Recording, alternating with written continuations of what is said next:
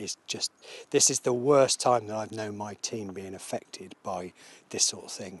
You know, for for Hardy Farm guys to be not quite reduced to tears, but somewhere on the edge, it's just terrible. And this is not new. This is happening all over the southwest, all over the country, every day. Mm. It's just that it goes unnoticed. The, the current policy is that the animals have failed the test, so therefore they have to be removed from the farm.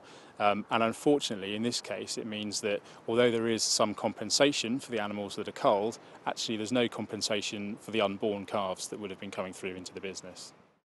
The DEFRA agency responsible for TB testing said TB can have a devastating effect on farm businesses, which is why there are strict measures to control it.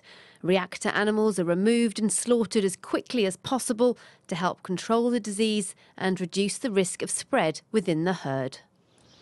Badger supporters say cows spread TB to badgers, but farmers say it's the other way around. George says the point is they're animal lovers. It's overlooked the fact that the poor old badger is dying a horrible death of TB. You know, the, these animals are being slaughtered before they've actually got physical TB or the symptoms showing.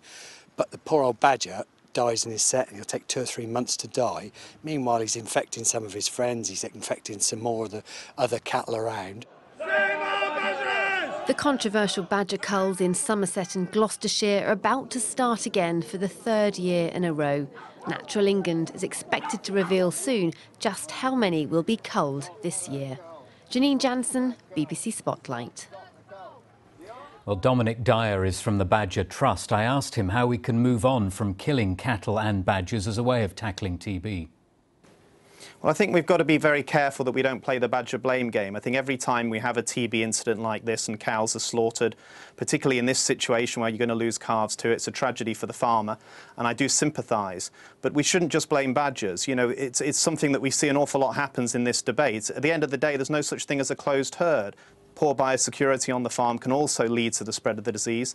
And we're also concerned that other vectors in the wildlife uh, areas, there's, there's foxes, there's rats, there's deer, all of which can spread TB. So this focus on the badger we think is not helpful. But, but how is taking cattle out of the equation once they've been identified with TB, but not taking badgers out of the equation, going to get to a point where we are clear of TB in the wildlife?